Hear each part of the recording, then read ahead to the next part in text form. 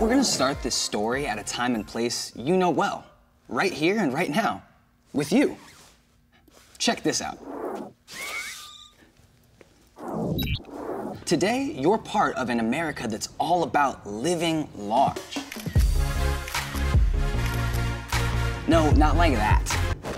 Even though you may not feel like it, just by living in the US, we're all living large. What I mean is, we each take up a ton of space.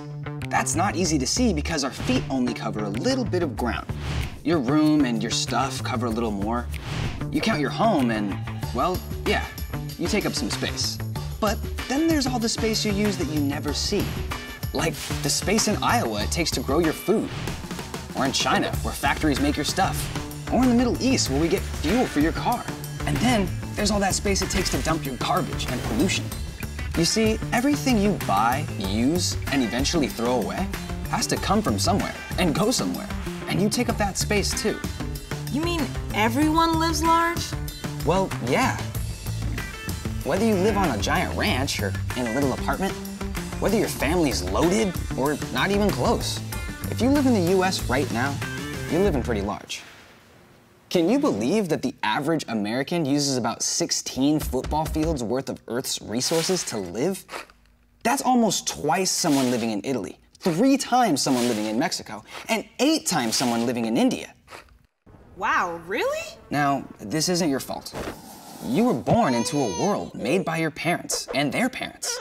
So you kind of got stuck living this way.